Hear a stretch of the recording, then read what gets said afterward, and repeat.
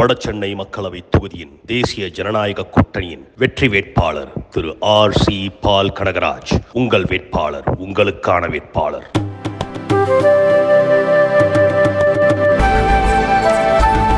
வன்னியர்களுக்கு இடஒதுக்கீடு வழங்கிவிட்டு அதன் பிறகு சமூக நீதி குறித்து பாமகவிற்கு முதல்வர் ஸ்டாலின் பாடம் நடத்தட்டும் என பாமக நிறுவனர் ராமதாஸ் விமர்சித்துள்ளார்.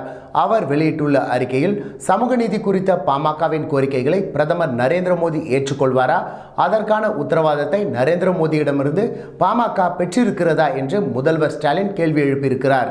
காங்கிரஸ் தலைமையிலான அரசிடமிருந்தே மத்திய அரசின் உயர்கல்வி நிறுவனங்களில் பிற பிற்படுத்தப்பட்ட வகுப்பினருக்கு இருபத்தி ஏழு சதவீத இடஒதுக்கீட்டை வென்றெடுக்க பாமகவால் முடிந்தது என்றால் அதற்கு காரணம் சமூக நீதி கொள்கையில் பாமகவிற்கு இருந்த உறுதிப்பாடும் நாடாளுமன்றத்தில் பாமகவிற்கு இருந்த வலிமையும் தான். தமிழ்நாட்டில் மிகவும் பிற்படுத்தப்பட்ட வகுப்பினருக்கான இருபது சதவீத இடஒதுக்கீட்டில் வன்னியர்களுக்கு உள் இடஒதுக்கீடு வழங்கலாம் என்று உச்சநீதிமன்றம் தீர்ப்பளித்து இரண்டு ஆண்டுகள் முடிகின்றன.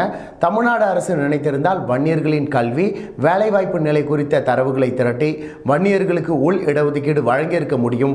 இதற்காக முதல்வர் ஸ்டாலினை நேரில் சந்தித்து வலியுறுத்தினேன். எட்டு முறை அவருக்கு கடிதம் எழுதினேன். அன்புமணி தலைமையிலான குழுவினர் மூன்று முறை முதலமைச்சரை சந்தித்து இடஒதுக்கீடு கோரிக்கையை வலியுறுத்தினர். ஆனால் வன்னியர்களுக்கு உள் இடஒதுக்கீடு வழங்குவதில் ஒரு துளி கூட முன்னேற்றம் ஏற்படவில்லை. ஸ்டாலினுக்கு சமூக நீதியில் உண்மையாகவே அக்கறை இருந்தால் வன்னியர்களுக்கு உள் இடஒதுக்கீடு வழங்கிவிட்டு தமிழகத்தில் சாதிவாரி மக்கள் தொகை கணக்கெடுப்பு நடத்திவிட்டு அதன் பிறகு சமூக நீதி பற்றி பேச வேண்டும் என்று தெரிவித்துள்ளார்.